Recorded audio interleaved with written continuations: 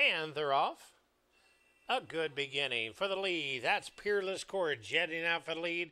Down on the inside, Rasan Carter. On the far outside, come see about it. Shows good speed as they pass the stands for the first time. Peerless Court shows away by half a length. Come see about it in second. Down on the inside, Rasan Carter subdued right behind runners as the field makes the way into the casino turn.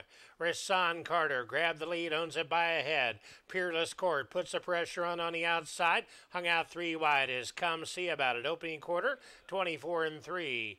Two and a half lengths back. That's subdued in the fourth spot. Shadowed on the outside by Saving Mom and a little bit long very easily. And about six to the trailer, Sin City Slick as they continue down the Belterra backstretch and with the lead. That's Peerless Court on the outside. John McKee pokes ahead in front. Rasan Carter right against the rail in the red cap to the outside. Come see about it. Perry calm and cool in the saddle in the catbird seat in third. A half length back to subdued, rounding out the top four. Saving Mama is now on the move, and about five back to the trailer. Sin City Slick. A half on the board of 49 as they round into the far turn and pass the three ace point.